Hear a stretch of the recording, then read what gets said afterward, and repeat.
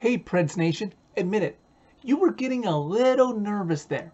I'll admit it, I was too. The Preds have taken this to the limit before concerning arbitration hearings. What am I talking about? Of course, Juuse Saros has been officially extended by the Preds to a four-year, $20 million contract with an AAV of 5 million a season. It was announced by Elliotte Friedman early this morning, not by the team's official social media just yet, that the heir apparent to Pekka Rinne, Saros, has been signed long term and the Preds can avoid a contentious, what would have been a contentious, arbitration hearing that always gets rough between the team and the player involved. This deal is signed just two days before Juuse Saros' arbitration hearing was scheduled this upcoming Wednesday, where he wouldn't have gotten the term, and I can't imagine he wouldn't have gotten the value that he ended up getting by the Preds.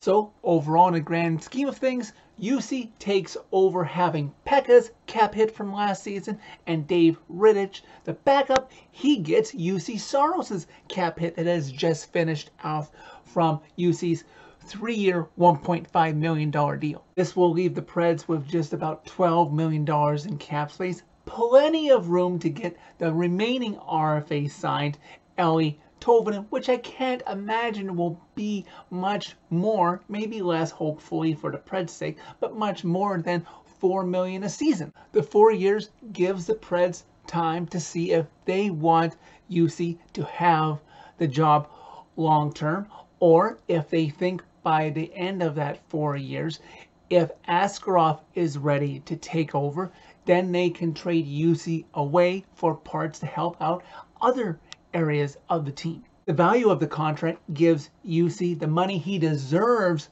now for how he performed like he did last season and, you know, decently in the playoffs.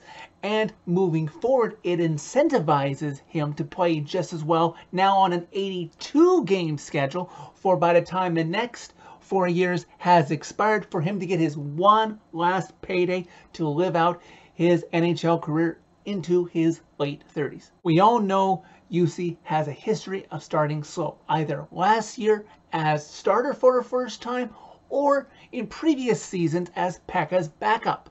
Juuse knows coming into this upcoming season and the three that will follow it that the number one job is his. No question. So hopefully he now has his mind right, no distractions, no media asking him about a long-term deal with the team if he had gone to arbitration and had only gotten a one or two year deal. So he gets off on the right foot and he can play up to his capability on an 82 game season that he did as a 56 game season last year. I've said before in videos this offseason, I cannot imagine with Rittich as a backup and what the Preds are going to be expecting out of Juuse Saros that he starts any fewer than 57 games. Overall, not a bad offseason for the Preds. Poile brings in the pieces that he wanted from outside the team, and he extends key pieces moving forward from inside the locker room. And as an added bonus, if you'd like to get Ekholm and Forsberg extended before the season starts, well, that would be great too.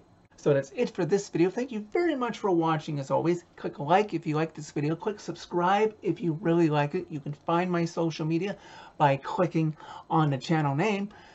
The juice is definitely good and the juice is not going anywhere anytime soon.